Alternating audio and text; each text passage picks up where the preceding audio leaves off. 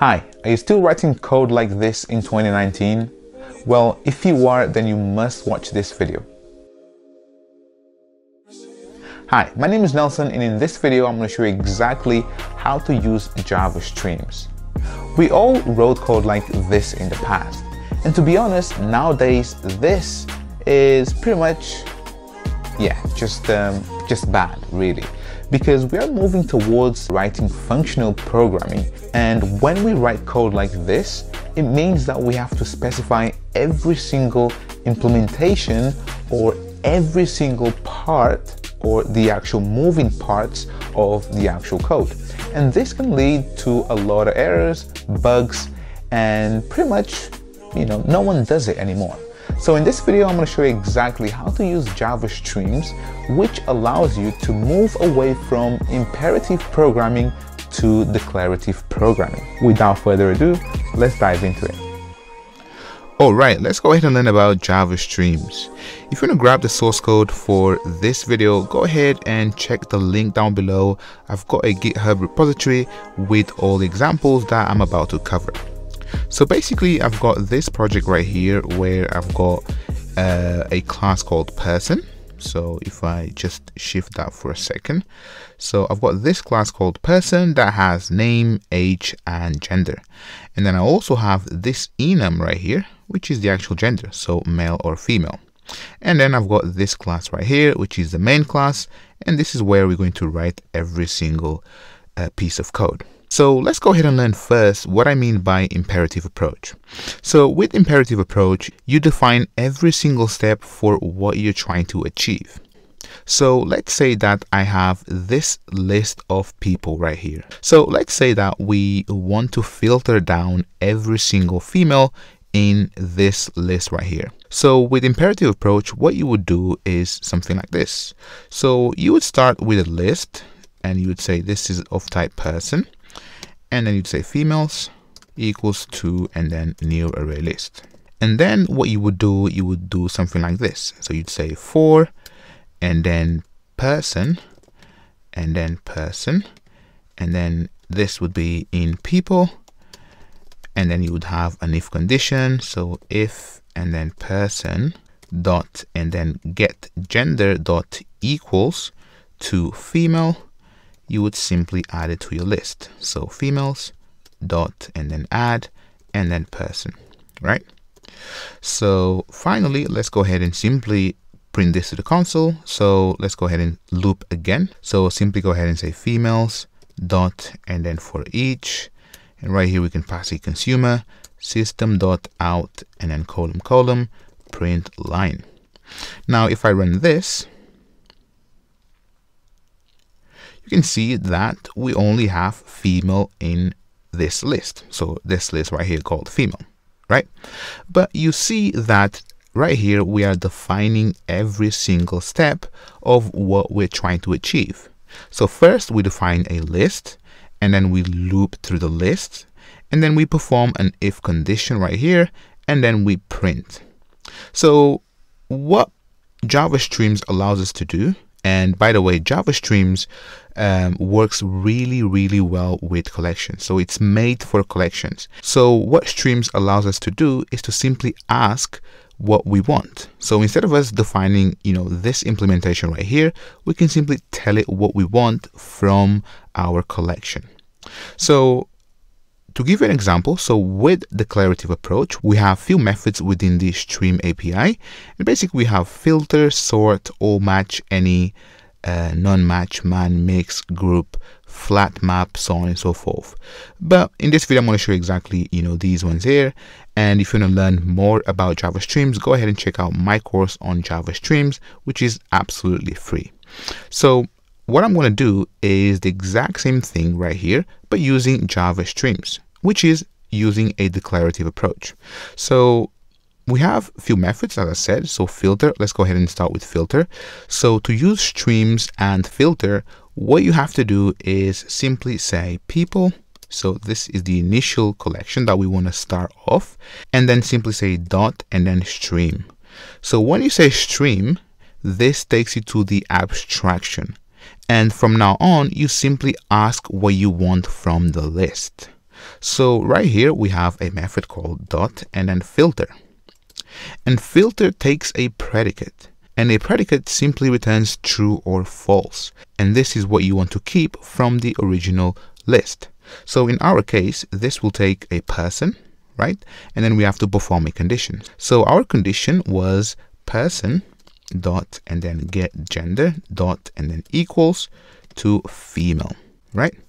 So now that we perform the filter operation, now we have to collect the results back into a list. And what this is doing is giving us a brand new list. So to collect to a list, simply say dot and then collect and then say collectors and then to and then list just like that. So you can see that now I can extract this to a variable and what I'm going to say is females. And in fact, let me go ahead and comment this code and that there. There we go. So now I can grab this same line and then paste it here. And if I run the code, you can see that we have the exact same thing. But right here, you see that we're not, you know, creating a brand new list and then looping through that and then performing the if condition and then if that and then if that satisfies then we add to the list which um, you know is too much code for something very simple. So this is when the declarative approach comes into play. So we can do other things other than filter. So if I go ahead and pretty much just comment that line and we can also sort this list right here. So the initial list right here. So people so let's say that we want to sort the list, or actually first, let me go ahead and simply uh, loop through uh, people. So if I uncomment that and then run this, you can see that we have both male and female, but the actual data is not sorted. So you can see that first we have um, James Bond, age 20, 33, uh, which is Alina uh, 57, 14, 99, 7, and and then the 120. But let's say that we want to sort this list by the actual age. So to do that, what we can do, we can simply say people dot and then stream. So remember, every time that you want to use declarative approach and enter the abstraction mode where you pretty much just ask what you want, you simply have to say dot stream on a collection and then right here simply say dot and then sort. And sort takes a comparator. So the comparator goes like this. Simply say comparator dot comparing. And then right here we can pass the actual field that we want to compare. So in my case i want to compare age so i'm going to say get and then age just like that. Now i need to collect this to a list again. So collect to list and then if I extract this and simply say sorted and then pretty much just say sorted right here. And if I run this you can see that now our data is sorted by the actual age. So you can see 7 14 20 33 57 99 and 120 so if you want to reverse, so the actual order, simply go ahead and say dot and then reverse. So if I run again, you can see that now it's reversed. So 120, 99, 57, 33, 20, 14, and then 7. And you could also change the comparator. So you could say dot and then then comparing. So let's say that we want to compare uh, females. So females, or actually gender, my bad and if I run this and right here you see that we first get female and then the next one is uh, male but then we have two females so 5733 and then a male and then the the last one which is the, the the youngest person in this list is a female so seven so this is awesome so we could also ask questions about our collection. So this is when all match, any match, and none match come into play. So let's say that we want to find out whether every single one in this list has an age bigger than 5, right? So to do that, we can say people dot and then stream.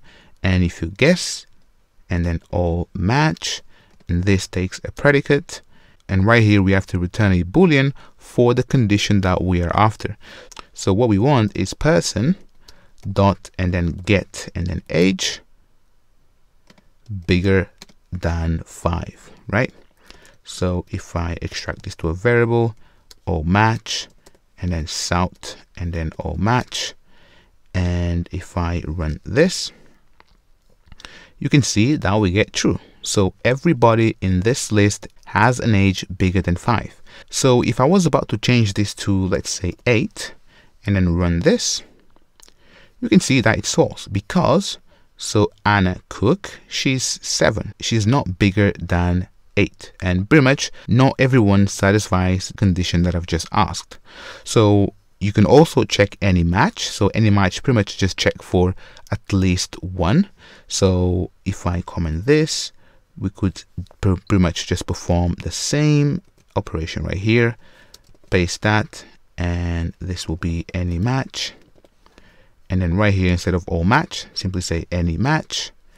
And then pretty much we have at least one person which is bigger than eight or actually more people but basically it just finds one and then returns true.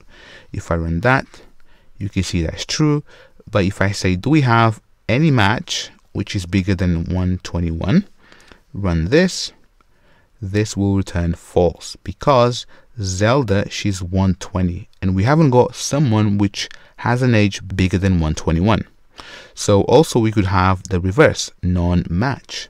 So if I comment that out and then simply say people dot and then stream dot and then none-match and this takes a person. So now we can ask a question. So let's say that we want to find out if there isn't anyone with the name of let's say Antonio. So let's simply say person dot and then get and then name dot and then equals and then Antonio. And then extract that to a variable and then none-match. If I sout none-match run this. You can see that it is true. So there isn't anyone in this list with the name of Antonio. But let's go ahead and change James Bond to Antonio. Run this. You can see that this now returns false so as you see, the powerful of streams is just, you know, crazy. So let me go ahead and show you max and min. So basically we can ask information about the max number or the max value within a collection. So let's go ahead and find the person that has the maximum age. So for that, people dot and then stream and then dot max. And then inside it takes a comparator. So comparator comparing and you saw that before and then get age and then if I extract this to a variable and this returns a an optional by the way um, and the reason why is because it might not you know find the max value within this collection right? So if I pretty much just say max and right here or actually just let me remove that. So what I'm to do is that and then right there dot and then if present and then person and simply sout and then person. And we can pretty much just replace this with method reference. And there we go. If I run this you can see that Zelda she's the oldest person in this list. So let's do the same for min. So I'm gonna grab that and then paste that in and what I'm going to do is comment that put a semicolon there and then right here instead of max simply say min. Run that. And now you can see that Anna Cook she's the youngest person in our collection. So this is awesome so we could also group information. So this is where you want to group information based on a field that you have. So let's say that we want to group this information based on gender, right? So for that, we would expect a map with a gender and then a list of each gender and then a list for the person within each gender. So to do that, let's go ahead and simply say people dot and then stream and then dot and then collect and now we're not collecting to a list because we want to map with the genders and then each person within that gender. So now we can use collectors dot and then grouping by. So grouping by takes the actual field that we want to group by. And what we want to group by is the actual gender. So if I then extract this to a variable, you can see that now, so um, group by and then gender. So you can see that now this is a map of type gender and then a list of people.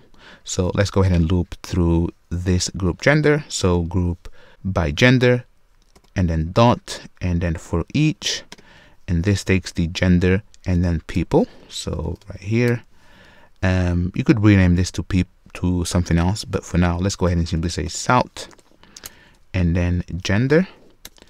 And now what we're going to do is simply say people one dot and then for each and then system dot out and then column colon print line so if I now run this you can see that and in fact if I add another south there and then run this you can see that right here we have female right so this is what we grouped and then everyone within female and then male and then everyone within male so as you see, streams is just so, so powerful. And just imagine if we had to do all of this using imperative approach, right? It would have been like lots of lines of code and pretty much is just too much, right? So another thing that we can do is you see that I've just used a single method within stream. So what we can do is if I pretty much just comment this, so the cool thing about streams is that we can chain these, right? So let me give you a quick example. So let's say that we want to find out every single female and then grab the oldest female and then pretty much just return the first name. So to do that, we would do something like this. So you'd say people dot and then stream. And now let's go ahead and say simply filter. So we want to filter females so person dot and then get and then gender dot equals to female then what we want to do we want to find the oldest female so simply say max and then comparator comparing and then get and then age now we could also use the map so let's go ahead and say map and now we want to grab the actual name and then end that with semicolon so now you can see that we have an optional. So this returns an optional. So oldest and then female. There we go. Now I can say oldest female age dot if present and then name and then system dot out dot println and then name. And basically I can use method reference right here as well. So now if I run this, and now you can see that Zelda Brown is the oldest female in this list. So this is just insane, right? So as you can see, you can pretty much just chain these and ask questions on your list instead of implementing every single step along the way. All right, so as you saw the benefits of using Java Streams it's insane. So the next step for you is to take out my course on Java Streams where I cover everything that we covered in this video plus more. Go ahead and enroll to my course where I'm waiting for you. Thanks for watching. Don't forget to subscribe to get more videos like this. And also make sure to follow me on my Instagram where the community is growing. This is all for now. Join me in the next one. See ya.